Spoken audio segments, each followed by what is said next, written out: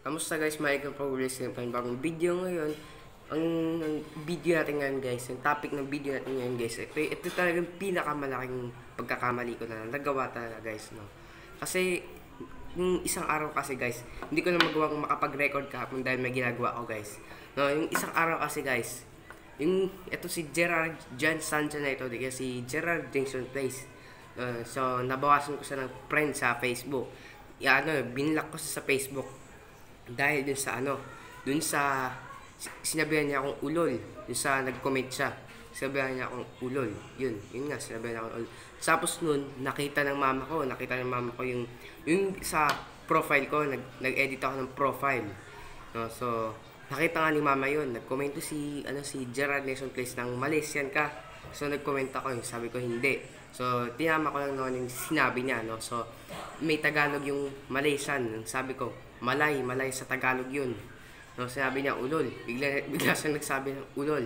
No, tapos niya, nakita na ng mama. Mm. E di, binlock na niya. Siya, nagpa-block sa akin. Dahil daw, kundi, papagalitan niya ako. Yun nga. No, so, ang isa pang dahilan nito guys, kung ba't ano, nakayawan niya ako na hindi niya ako nagustuhan dahil dun sa ano, baka isang dahilan to ng ano sa minute ko siya sa ano sa messenger. So hindi ko na sa mga message din na ako mag-message. Hindi ko na hindi ko na makita yung mga kung ano yung chinachat niya dun no?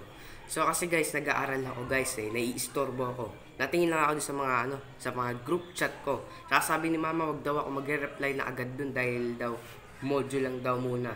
So tuwing Sabado at Linggo lang oh. Yun nga guys ang nangyari binlock ko siya sa Facebook at sa Messenger dahil nga dun sa sinabihan niya akong ulol. So, nga yung nagawa kong isang pinakamalaking pagkakamali na nagawa ko, isang pi- pinakamalaking mistake na nagawa ko sa buhay ko. Guys, yun nga na, ano, nung, hindi naman pinakamalaki yun, ano lang yung, nabawasan na ako ng kaibigan, wala na ako matchat tuwing may kailangan ako, kung tuwing naboboring ako. Yun nga guys, yun, nabawasan na siya dahil binlock ko siya, in-unfriend ko pa siya. So yun lang video ngayon guys. Maraming salamat sa panonood nyo. Hope you guys doing today. Hope you guys doing better today. Peace out.